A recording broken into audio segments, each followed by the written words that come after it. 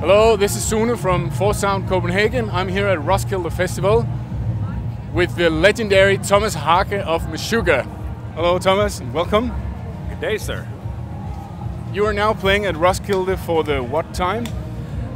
I I don't know. I think it's the third or fourth time, maybe. I I really I'm really bad at keeping track of where we play and and and when, you know. Right. So uh, I think it's the third time. It could be the fourth, but yeah. It's definitely the third time. I've seen you here two times before, so. Okay. Uh, I think last time was 2010 or something. Yeah, that's Yeah. probably right. Yeah. All right. So you guys just finished recording uh, a new album. Mm-hmm. What was the the process like this time? Uh, I think uh, what I want to know is compared to the last time, since you had a very special process writing and recording uh, Yeah. Koloss. Actually, the writing process is pretty much the same. It's pretty similar. It's uh, I've, I've been working a lot with uh, Dick, the bass player. So we've we've written a lot of stuff together. I've worked with Mårten on some stuff and some songs, and uh, that's all like in a computer environment. You know, from Yeah. the get go. It's you know programming drums, whatever kind of riffs are coming up, and and that, that's the way we've been doing it for many years now. Uh, the difference this time was the actual studio time. This time we actually rehearsed, so we kind of knew the songs before studio. So uh, and we recorded it at Puk Studio in Denmark with uh, Tue Madsen, who's done some tremendous work with with The Haunted among other bands. And uh, the difference this time with this album is it's all live takes. There's no editing. There's no making it sound like machines anymore because uh, I just think at at this point we're just personally at least I was just sick of that sound and there's so many bands that do that now it's like Beat Detective 60% it doesn't even sound like humans you know No. um, and with that, you lose the energy. So we wanted to do something, kind of go back to more old school way of doing it, and that's what we did on this time, this time around. And uh, so a lot more drum playing, because you need to have like good takes. So Right. a lot of takes, like tw- 10 to 20 takes of each song, and then to, so you would have to. Then you, know, use to cut and paste with different sections of the different takes. Yeah. But doing that instead of correcting what's wrong, you Right, choose a right. take where you're actually playing it right, you know. And were you happy with that result, or Yeah, uh, definitely. instead of going for the- it's, for the- it's not like as it's not perfect in any sense, and it's not maybe the way people have gotten used to hearing Meshuggah, how there's no flaws or faults or anything. right? This one actually has flaws, and it has.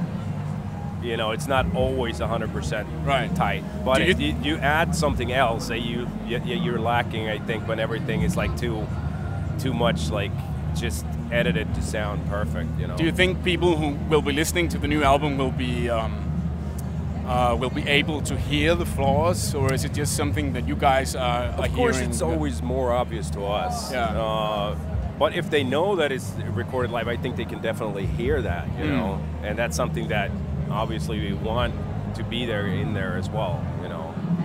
They, Um, they, Dave Grohl once described it as charisma because he got tired of listening to perfect albums. yeah. So he was like, you know, we want to keep the little flaws in there because Yeah. it makes it human, it makes it us. Yeah, and also all the, for every one of us in the band, all our favorite albums of any time have always been where you hear the people playing. Right. It, very rarely is- does any one of us pay any real attention to music that is really like just beat detective and everything's moved to sound perfect. Because to some extent it kills the music, you know. What was your setup on the recording? Did it change from song to song, or was it the same thing? No, pretty much it's pretty much the same thing all the way through. The guitar rig, since I mean the last few albums we recorded, it, it's all been digital stuff, and this time we had a whole bunch of amps, a whole bunch, a whole room actually filled with amps and and uh, and uh, cabs. Uh, so we could we we we could uh, opt for like having a little more of this amp in one song and a, a little more of that one in another song. So that's the only kind of really things that we tweaked a little bit. The guitar sounds are not the same, the exact same from song to song. Right. So it does differ a little bit. which which I guess is also a different approach from um, from the guitar player. Since I just saw the documentary that you guys of the co- uh, recording of your previous album, where they talk about how they are able to change everything all the time, and they never, you know, they never finish. They're Yeah. never completely satisfied. Yeah. But I guess this time, if you're recording live and it's through amps, then this is what you you, have, to and- you have to accept it. Yeah, yeah. Because uh, I, I mean, if you were only doing digital, uh, you can sit there and reamp for years. Yeah, And exactly. And uh, like like he said, it's it's how are you ever satisfied? Right. If there's always like, well, it sounds good now, but I think uh, the other side of the rainbow, just past the unicorns, there could be you Yeah. know another Yeah. guitar sound. You know. So I, I think it's a good thing too. This was all, a lot more about you have those three weeks for recording, and that's and then you're All right. and you have to let it go. You know, we did uh, we did additional guitars like solos and stuff afterwards, um, but that that was pretty much it. Right. And, uh, and your drums on the recordings, what was the setup like? Just pretty regular what I've been what I've been doing now as far as the drums themselves. The, the main difference is I on this album I went back to old school drums, 24 inch kicks that were just 14 inch deep and uh, shallow toms, like lightweight drums. Um, I mean, when you put a mic and you put microphones on everything, and then you, it doesn't really matter that much. If the drums sound good, they're gonna come out sounding good, you know. So, uh, apart from that, it was just kind of the regular setup that I I've been doing over the last, you know, a bunch of years. Just one rack tom centered and two floors and two kicks, bunch of cymbals, you know. Right. And and speaking of your setup, uh, it has changed a bit over the past ten years or so. Oh, You've yeah, been yeah. stripping away uh, toms and placed them differently, like experimenting with um, Yeah. with uh, uh, just the setup in general. It looks like. yeah. And uh, what what happened and and um, what what uh, prompted you to make the change? That's ergonomics. right. It's more or less all ergonomics. Uh, I sat for so many years, like playing cymbals far out here. Right. Uh, I, my, my shoulders are ruined, basically. I didn't want to. I, I could have surgery, but I've so far I've tried to not have to do that if I if I can help it.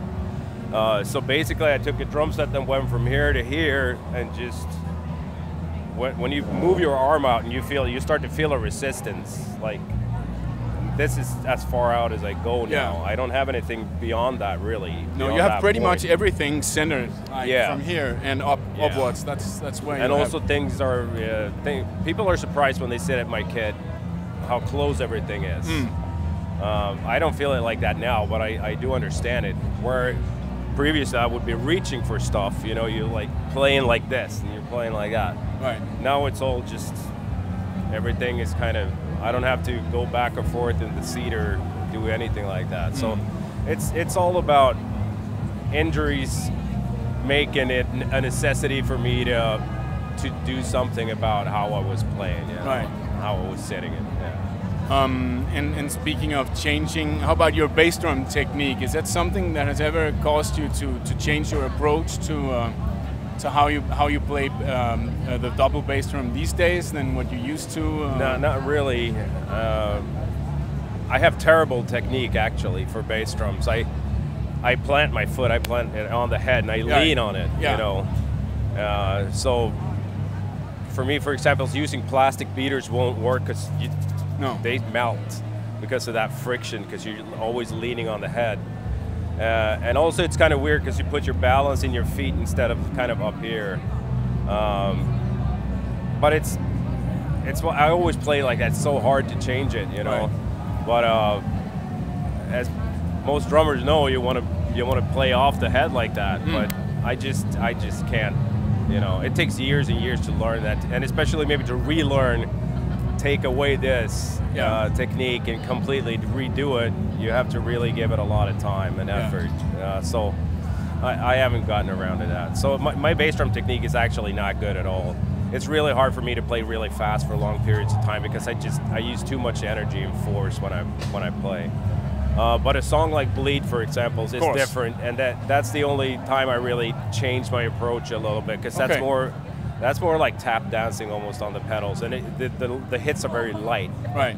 So I have to use triggers, you know, to to get all the sounds out there. If you heard it only acoustically, since the right kick is doing da dung da dung da dung, it would you would mostly hear the second hit only, and Alright. it wouldn't sound. It would sound da, da, da, Okay. you know. So you you would kind of lose it by the, by doing that. So uh, once we wrote that song and wanted to do it live, I started using triggers on the kicks, and now I, I, I use it for for all the songs. Yeah. So that in, that beat in particular is is um, is so incredible and so um, uh, it's so hard to get to get your head around. Not so much um, understanding the concept of what's happening, but it's for a whole six minutes and it just goes on and it's so it's so Yeah, different all the time. it kinda- What, what did you think when when you got presented with that song? Uh, no. no way, man.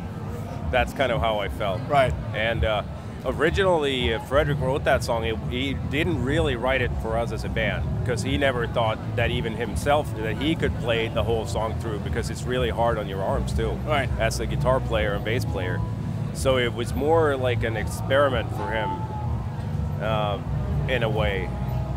And then we, the rest of us really loved it, and we we were kind of on it. Like, let's at least let's give it a try. Let's see if we if we can do it. But it's uh, it took me at least a half a year to to learn to both that kind of technique I had to use and also to learn the song as such. Right. You know, so. That, I've never spent any anywhere near that amount of time on any song previous or after, and for obvious reasons when you hear it, because it's not only the basic pattern, it's also No. the the development of that pattern in, in so many different ways. So, yeah. Yeah, because it sort of start, starts out with the with the parts in three, and then next section it parts of 5 and then it just, you know, the, yeah. the And system. then it's just fucked. the system just pretty gets much. lost. Yeah. Yeah. Um, so uh, you use the Roland triggers, Yeah. and what sounds are you triggering? Is that from from your own samples? Or? Yeah. Right now we're using. Uh, this is the same samples we've been using for a bunch of years now, but Right. uh, I really want to change them out.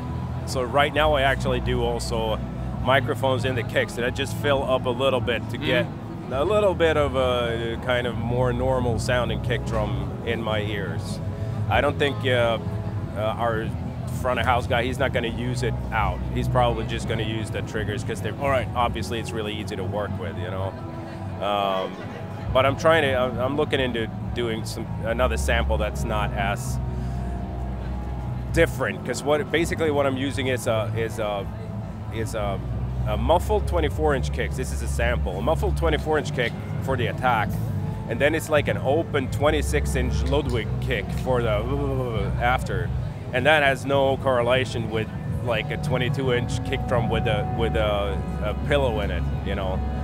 I don't like the sound of a 22 inch kick with a pillow in it because it's just dead. Yeah. But uh, that's also because of this technique that if I leave it open, it's just going to bounce on the head, you know. So I got to muffle the head. So somewhere in between what it feels like to play a kick like that and the sound of a bigger drum, you know, I guess would be uh, kind of where I would opt for. Right. But, uh, but we'll see. So far, we're just using the same same same sound we've been using now for, for a while.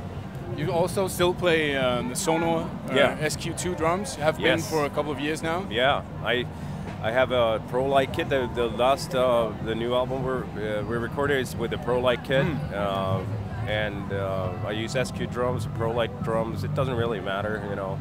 A lot of the times when we're out playing, it'll if, if it's flying shows and stuff like that, it will be either ProLites that they send there, or uh, sometimes Delite drums, and it doesn't really matter. Whatever whatever drum set I get, they always sound fantastic, you know. Right. Yeah, I've been with, with Sonor for for uh, I think not 20 years, but maybe 15, 16 years or something like that now.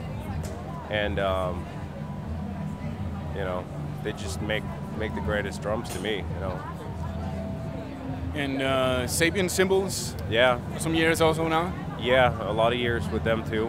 Um, probably closer to 20 years. Right. Yeah.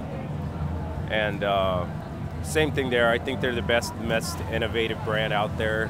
Uh, I can have cymbals that sound like a nice jazz cymbal, but they can take a beating of a metal drummer. I don't know. It's uh, my uh, my experiences previous is to to uh, Sabian's was that was a very difficult combination. Hmm. You chose like either or. You either get a cymbal that kind of sounds a little shady, but it can take a beating, or you would get a nice sounding cymbal and you go, okay, Right. that's it, thank you. Right. You know. So uh, with Sabian's, it's, it, they have a lot. They have so many different series and so many models right now that there's something for everyone, regardless if you how you hit or what kind of sound you're looking for. So I, you know, to me they're the, they're the greatest brand that there, there is in the market right now. And um, I think for the, for the final part here, uh, uh, since we just mentioned, we just talked about earlier how you were, you're trying to avoid uh, straining your body with not reaching too far back, and trying to avoid injuries. And um, how uh, it- do, do you try to avoid injuries or just uh, in general uh, wearing of your body in any other way when talking about being off the kit, like some um, exercises or and, yeah. and and warming up, of course, before before Yeah. going on stage. Yeah, I don't have like much of a ritual as far as I do some stretches, like you know, basic arm stretches and stuff like that. And I basic my my legs. I just warm up by doing this on the floor for like 45 minutes. All right. Um, and that's that's pretty much what I do as far as warm up.